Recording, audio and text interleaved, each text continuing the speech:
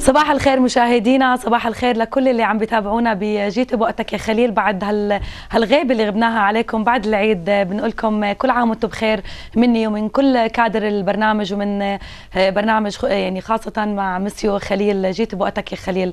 هلأ مشاهدينا اليوم عندنا موضوع كثير مهم بهم كل صبي وكل صبية بليلة زفافها بليلة بألف بليلة ألف ليلة وليلة اللي بتحلم فيها. كل صبية بتحلم بيومها تكون مميزة بشعرها بطلتها بكل آه، شكلها مع فستانها مع زفتها مع يومها بحلمها الأبيض اللي بتستناه بفارس الأحلام اللي يجي آه، ياخذها وينطلق فيها. واليوم إحنا رح ننطلق معكم بجيت بوقتك يا خليل آه، بكل موضوع بهم كل بنت بنت بليلة زفافها صباح الخير مسيو خليل. يسعد صباحك وكل عام وأنتم بخير جميعا. للعرايس كل عام وأنتم بخير والوطن كل عام وأنتم بخير. واليوم مثل ما تفضلتي انت ست احلام راح نحكي عن طلة العروس كيف العروس قبل الزفاف وبعد الزفاف و... وإيش بدها العروس اللي نقدر نعمل لها في آه، طريقتنا الحلوة والمكياجنا وشعرها وفستانها الأبيض. أه. وإن شاء الله يا رب بنقدر نقدم اليوم أجوبة كثير للمشاهدين عن زفة العروس أو طلة العروس كيف تكون العروس بطله بهية وطله جميلة قدام عريسها وقدام ضيوفها كمان. ونتمنى لكل عروس ألف مبروك لإلها وللعريس كمان ألف مبروك لإلهم ونشوف الوضع كيف بدنا نحكي عن العرايس بإذن الله تعالى اليوم. هلا كل بنت بدي أطلع غير بدي أطلع شعري بدي أطلع مميزة بدي أطلع.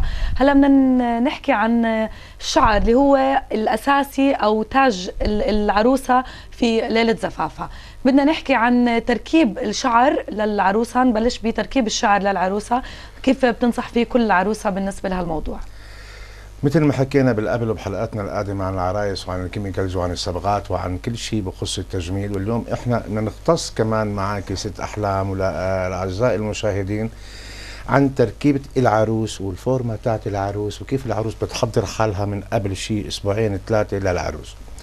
آه، من كثير من العرايس بتيجي العروس قبل أسبوعين بتعرفي بدها صبغ شعرها بدها تعمل هايلايت بدها تعمل تنظيف بشره إذا عندها مشاكل بالتتواج بحواجبها بنقدر إحنا نعمل لها بالتتواج لحاجب لها بنقدر نشوف الشعر إيش بده. إذا كان العريس بنسألها العريس أطول منك أقصر منك أنت أطول من العروس أقصر من العروس. هاي المشكلة. لكي نعمل الشنيون نشوف لما يكونوا اثنين ماشيين مع بعض نشوف هالعرايس كثير حلوين. آه اليوم تركيب الشعر حكينا عنه إحنا في حلقاتنا القادمة آه السابقه شوي. واليوم بدنا نركز اللي هو على وصلات الشعر مع العروس. في ستات كتير شعرهم بيكون قصير كري شوي.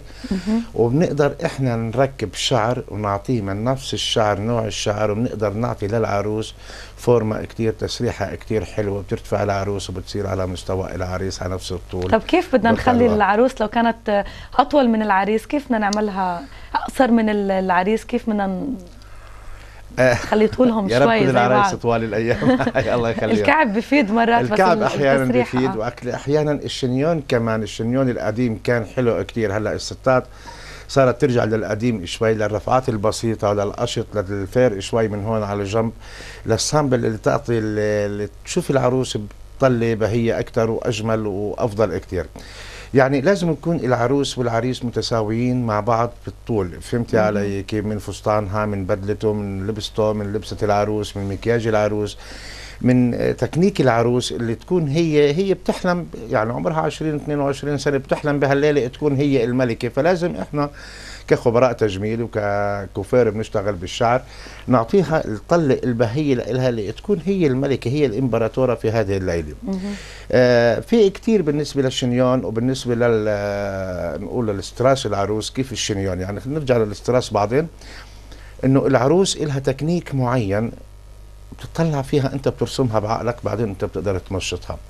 بتدخلها للبنات مثلا تنظيف وجه تنظيف بشرة peeling. هذا قبل بأسبوع ب 10 أيام. هلا العروس بتبلش تنظيف بشرة أو يعني ال facial طبعا أو قبل ب 10 أيام بتنظف يعني نقول ال scrub البشرة العناية بالبشرة البوتكس للشعر البوتكس لل visage البوتكس للشعر وليس البوتكس لل نقول البوتكس هلا رح نحكي عن هذا الموضوع. بالنسبة للبوتكس بدها وصلة شعر بنقدر نعمل لها بدها لون شعر بنقدر نعمل لها عندها ضربات خفيفة بحواجبها بنقدر نعمل لها. إيش بدها العروس؟ بتهيئ نفسيتها العروس. عندها بثور شوية بنقدر إحنا نقدر نساعدها بهالعشرة أيام اللي قبل العرس اللي نقدر إحنا نقيم هالأوضاع اللي تكون أجمل وبطلع أجمل أجمل للعروس ها ها. هلأ آه، زي ما عم نشوف التصريحات اللي عم تطلع آه، هلأ آه، هاي كلها طبعا من إيديك من يعني لمساتك على العروس اللي عم تطلع بالألوان كثير في ألوان حلوة عم تعملها. هلأ بدي تركيب الشعر للعروس. هلأ تركيب بيكون حياكة تركيب بيكون خصل كيف؟ عشان نعطي volume للعروسة بهالليلة. إحنا خلينا نقول على تركيب الشعر كوني أنا مختص شوية بتركيب الشعر وبحب أكيد. الشعر وبلعب فيه مثل ما بدي. لما العروس بتكون شوف هاي التسريحة قد إيه حلوة. كثير كثير هذه شنيون بابا كثير كثير حلوة هذه من شغلنا طبعا كثير كثير إلها تكنيك معين. شوفي العروس كيف هيك مثل الملاك طالعة. وشوف الشنيون هذا كمان كثير كثير حلو. في رفعه لورا وفي إنه البدلة فاتحة شوي لها مبين هلا هاي خصل عاملة العروسه فيها خصل هذا فيها خصل من الحمار شوي لها كثير حلوة لون الحاصل كثير كثير إلها. هذه العروس برضه من العروسات الحلوين طلع حواجبها طلع المكياج طلعت الشنيون الفورمه كيف جاي جاي بامبيل برضه قدام الغرة جاي لفوق شوي كثير حلوة. فالعروس هذه برضه كثير يعني فيها نمط معين هلا سموكي ايز يعني قد إيه حلوين لل آه في يعني كل عروس هي الشكل الوجه بتتقلب والشعر بيلعب مع الوجه. يعني شعر طويل بتقدر تعمل منه شنيون بتقدر تعمل منه فار بتقدر تعمل منه أي فورمة أو أي تسريحه لكي أنت تستفيدي للعروس. تركيب الشعر ضروري للعروسة. عفوا تركيب الشعر مش دائما لتل... مش دائما مفيد للعروس في ست شعرها طويل أحلى من تركيب الشعر بتقدر تشتغل فيه.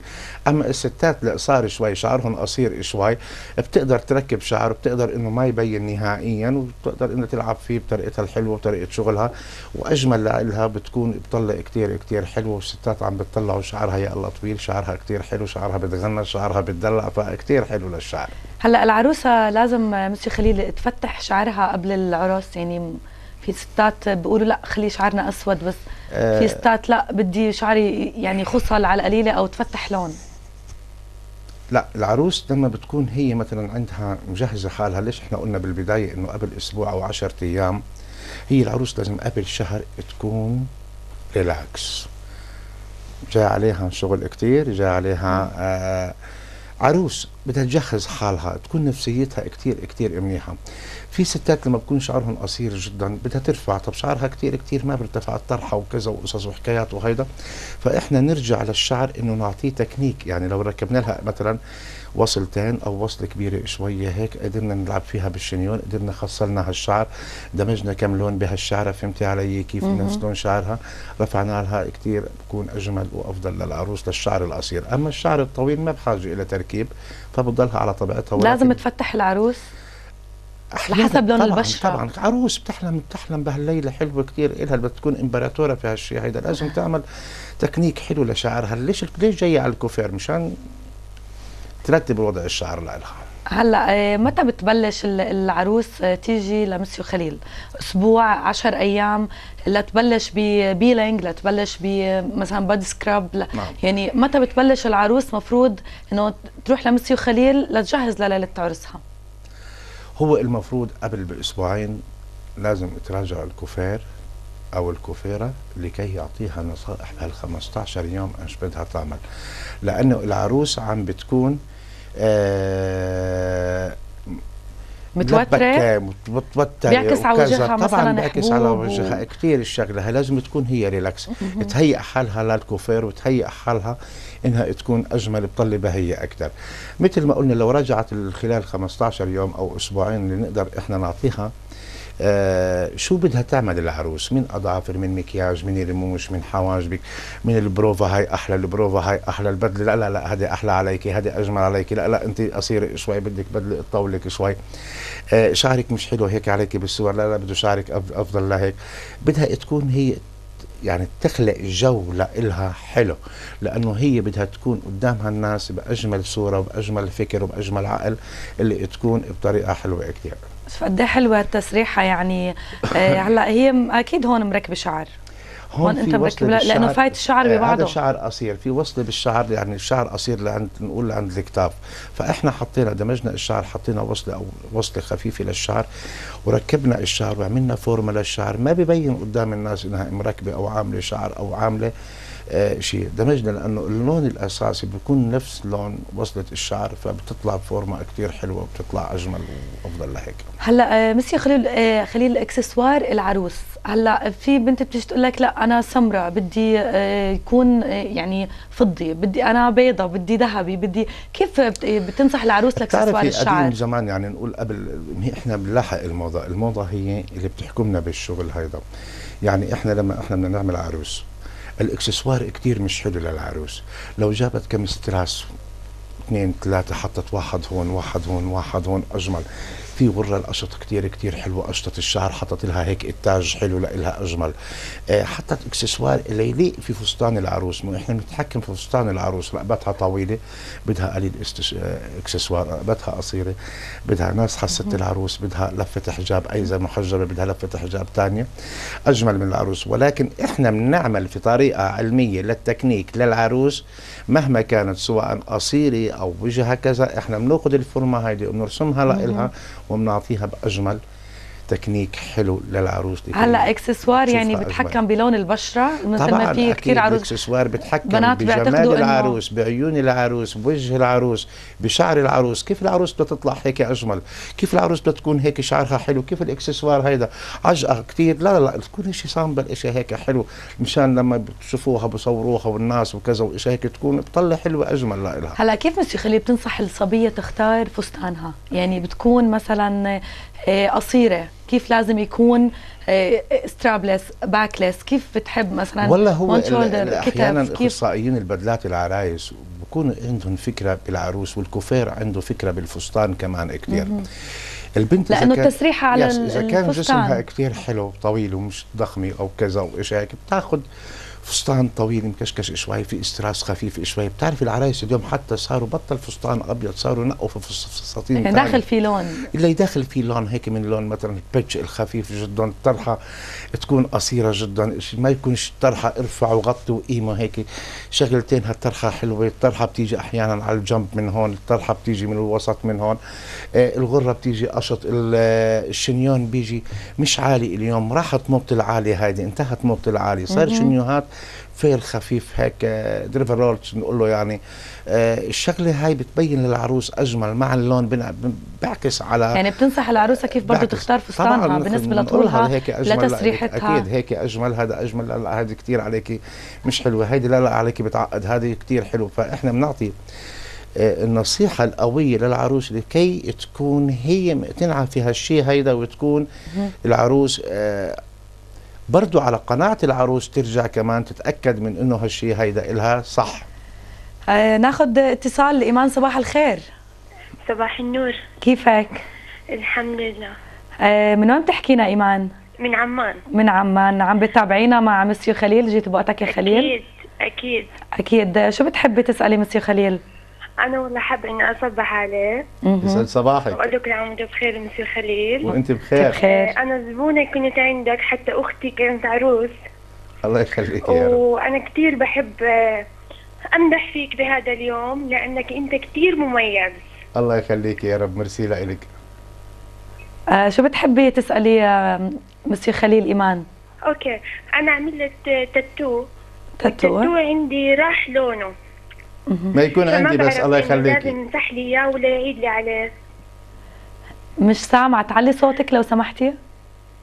أنا عملت تاتو أه. فهذا التاتو كثير راح لونه صار لونه على خضار. على خضار. okay؟ مم. وبدي أعيد عليه. كيف يعني أعمله؟ كيف؟ عملتيه عن مسيو خليل إيمان؟ لا لا, لا. ما عملتيه عن مسيو خليل. لو عملتيه عن مسيو خليل كان ضله أسود أو بني. يا ستي إحنا آه يعني الواحد جرب بس آه. ان شاء الله إنه مسيو خليل إنه يعمل لي إياه زي ما آها بنشكرك إيمان وخليكي معنا لمسيو خليل يجاوبك على السؤال. okay okay. بشكرك okay. إيمان كثير وصباح الخير وكل عام وأنت بخير. وأنا حكيت بالحلقات القادمة والله من التسعين لهلأ وإحنا بنحكي عن مشاكل التتواج. حكينا بهذا الموضوع آه إنه بالنسبة لل... للتتواج نقول إنه إذا قلب عندك على green بكون اللون فاسد نفس اللون بكون الحبر تاعه. بدناش نقول الحبر ال color تاعه بكون مش مصطلح طبي اللي يشتغل فيه. أما الألوان اللي كثير منيحة للتتواج فبضلوا التتواج لون طبيعي دارك براون أسود. يعني لازم يكون اللون لا دارك براون لا أسود مش أسود.